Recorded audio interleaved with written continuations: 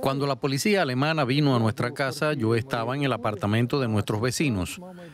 Mi madre y mi hermana estaban en el nuestro. Nuestra vecina vio cómo caminaban hacia nuestra casa y me escondió, pero ni siquiera llamaron a la puerta.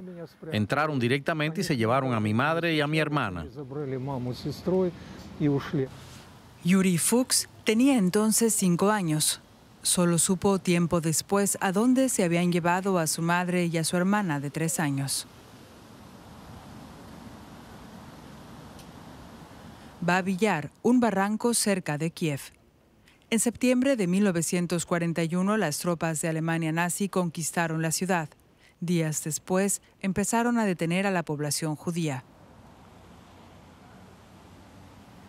En Babillar, a tan solo 5 kilómetros de la ciudad, mataron a la mayoría, más de 30.000 personas en los primeros dos días. Es una de las mayores masacres cometidas por la Wehrmacht durante la guerra. Además de su madre y su hermana, Yuri perdió a sus abuelos en Babillar. Su padre murió en el frente. Yuri se quedó con su vecino. Nos fuimos del apartamento casi de inmediato y nos mudamos a las afueras de la ciudad, porque la gente recibía una recompensa por delatar a los judíos, una barra de pan y medio litro de aceite. Durante dos años se escondieron en un suburbio de Kiev, pero fueron descubiertos poco antes de la retirada del ejército alemán. Ambos fueron llevados hasta un punto de recogida cerca de la estación de tren. Lo recuerdo perfectamente. Era un día soleado como hoy. Tuvimos que quedarnos allá hasta la noche, rodeados de soldados con ametralladoras. Vimos a los oficiales ir y venir. Para entonces la gente sabía de Babin Yar y pensaba que era donde nos iban a enviar.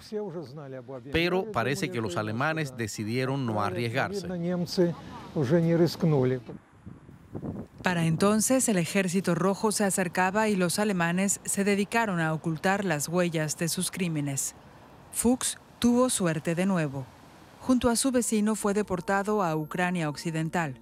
En la ciudad de Winitsa vivió la llegada del Ejército Rojo unos meses después.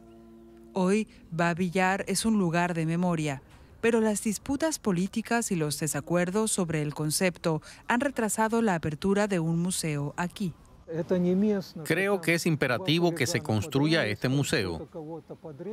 No estamos hablando de un lugar en el que dos pandilleros se pelearon o una persona mató a otra, sino de un genocidio.